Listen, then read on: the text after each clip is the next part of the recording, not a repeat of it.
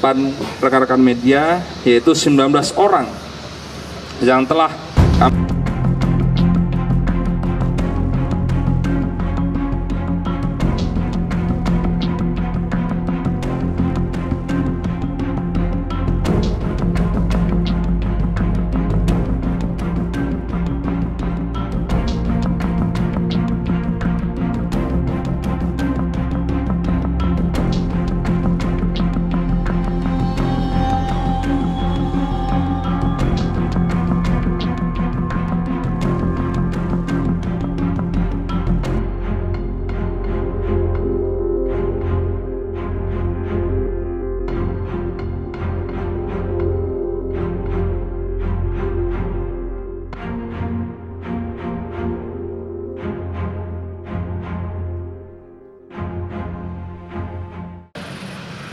di mana pasal 200 ayat 1 KUHP tentang perusakan gudang atau bangunan dan pasal 170 ayat 1 tentang pengeroyokan. Adapun waktu dan tempat kejadian yaitu hari Rabu tanggal 17 April 2024 pukul 12.00 waktu Indonesia Barat. Dengan tempat kejadian Jalan Arde Irma Suryani, Blok Jagal, Kelurahan Karanganyar, Kecamatan Kabupaten Subang.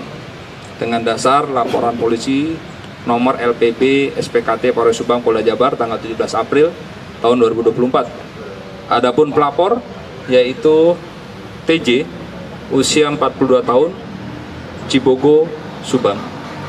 Adapun korban dan kerugian material yaitu yang pertama AH usia 62 tahun Sukamulya Cibogo Subang luka ringan kemudian IM 39 tahun.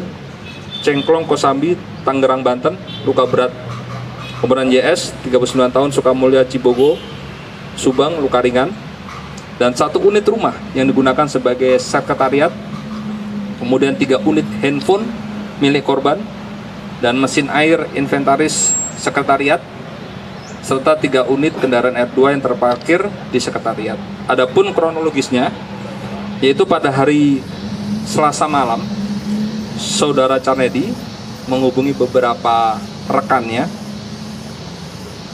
lainnya yaitu pada hari Rabu tanggal 17 April 2024 sekira pukul 8 di bawah jembatan flyover Pamanukan Subang. Kemudian uh, dari waktu tersebut kemudian bergerak ya bergerak ke arah TKP yaitu di wilayah kota Subang tiba pukul 11.30 berhenti dulu di pinggir jalan sekitar lampu merah gerbang tol Cilameri untuk memastikan kelompoknya tidak ada yang tercecer kemudian memberikan instruksi dan arahan terhadap semua anggota yaitu memberikan efek jerah kepada kelompok lain. Kemudian eh, dengan cara merusak sekretariat dan tidak boleh melakukan kekerasan kepada warga sipil yang ada di sekitarnya. Kemudian pada pukul 12.00 kelompok yang dipimpin oleh saudara Karnedi tersebut tiba di TKP tanpa dikomandoi beberapa anggota yang dipimpin oleh Karnedi melakukan pengerusakan terhadap gudang atau bangunan yang menjadi sekretariat salah satu LSM. Kemudian saat itu pula terjadi kekerasan fisik terhadap tiga korban yang saat itu berada di sekitar TKP. Dan saat ini sudah kita amankan, bisa dilihat di depan rekan-rekan media, yaitu 19 orang yang telah kami tetapkan menjadi tersangka. Dan saat ini masih dalam proses pemeriksaan serangkaian penyidikan. Uh, nanti apabila ada perkembangan lain akan kami update kepada rekan-rekan media. Yang pasti kami di sini menyampaikan pesan daripada pimpinan kami yaitu Bapak Kapolda Jawa Barat. Dan kami sendiri sebagai Kapolres Subang sangat mengecam segala bentuk kegiatan anarkis ya, kegiatan yang membuat gaduh suasana Kamtimas yang ada di wilayah Subang. Sehingga kami tidak akan memilih-milih kami tidak pandang bulu kami akan melakukan tindakan tegas terukur sesuai dengan peraturan yang ada kalau motif uh, hasil sementara itu ada uh, konflik internal ya, ada konflik internal.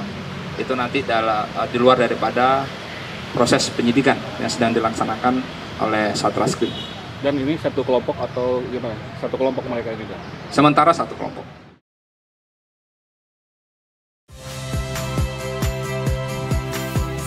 Cynthia Rompas. Saksikan program-program Kompas TV melalui siaran digital, pay TV, dan media streaming lainnya. Kompas TV, independen, terpercaya.